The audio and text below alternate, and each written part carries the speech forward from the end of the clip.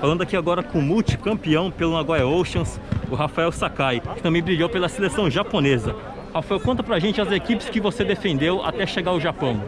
Nossa, eu passei por muitas equipes no Brasil ali. Passei pelo Corinthians, São Paulo, GM, joguei no Sul na Ubra, na Cortiana, no, no Horizontina e estava no São José por último antes de vir para cá, chegar na Goiás.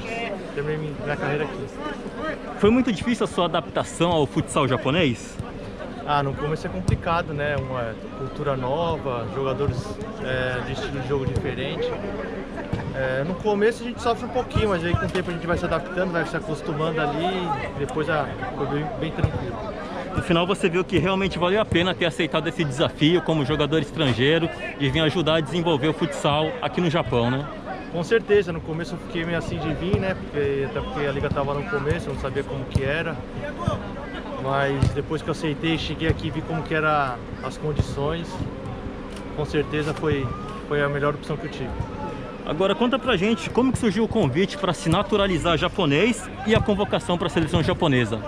Eu já estava já tava um tempo já no Nagoya Oshas ali, e tem, como tem esse limite de estrangeiro, o pessoal veio conversar comigo se eu não tinha essa intenção, até porque eu já sou descendente na verdade. Eu falei que sim, e aí o pessoal também da federação, na época o treinador da seleção veio conversar comigo também, que tinha a intenção de, se caso me naturalizar, levar para a seleção. Então eu conversei direitinho com a minha família, com, com a minha esposa ali, decidi, decidi me naturalizar e com certeza muito feliz depois disso. Pô, você que nasceu numa família de salonistas, né? Como que foi para sua família, principalmente para os seus pais, ter um filho defendendo a seleção do Japão e o irmão na seleção brasileira? Ah, com certeza acho que meus pais ficaram bem, bem orgulhosos, né, da gente. Meu irmão ainda está jogando ainda na verdade.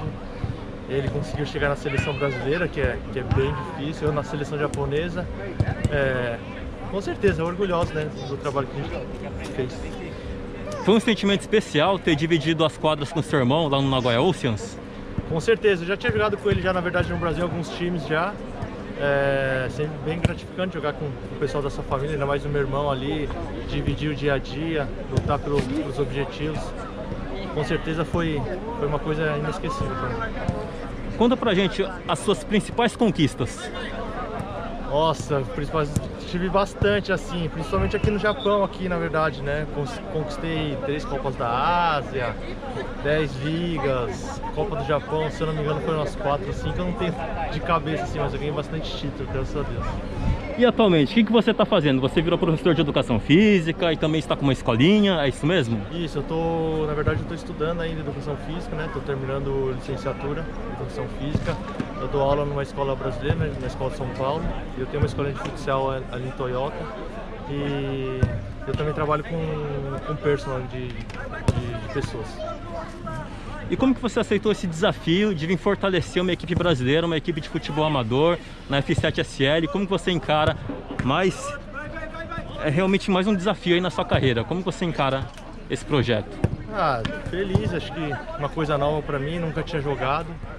É, me chamaram para participar aí, eu resolvi aceitar o convite. Estou feliz, é um time de amigos ali, tá todo mundo lutando pelo objetivo. E é isso. Quando a gente está ali dentro do, do, campo ali, a gente quer o melhor e quer, quer sempre buscar as vitórias. E também muitos jogadores vêm perguntar para você, pedir conselhos, aqueles que querem chegar ao nível profissional, aqueles que querem melhorar seu rendimento físico. Como que é isso aí para você? Como você enxerga poder ajudar e colaborar com esses jogadores também? É, eu sempre tento passar um pouco da minha experiência, né? É, até por tudo que eu vivi no futsal.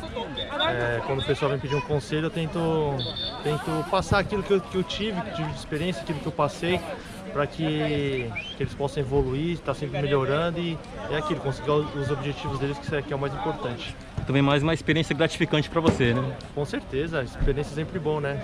É, são coisas que a gente leva para a vida, para é, a vida toda. Então, sempre quando vê uma experiência, é sempre bem gratificante. E você que já jogou em várias partes do mundo, aonde que a resenha é melhor? É lá no Brasil, aqui no Japão com os japoneses ou é com os brasileiros mesmo? Ah, não tem jeito, os brasileiros são, são os melhores, né? Nada contra os japoneses, porque os japoneses são um pouquinho mais sérios, mas os brasileiros não tem igual, a resenha é sempre grande. Tá certo então. Olha, Rafael, muito obrigado aí e parabéns aí pelo seu trabalho. Valeu, obrigado. Parabéns a vocês aí que estão sempre apoiando aí o, a comunidade brasileira aí. É sempre importante, ainda mais aqui no Japão. É, sempre que precisar, estou aí.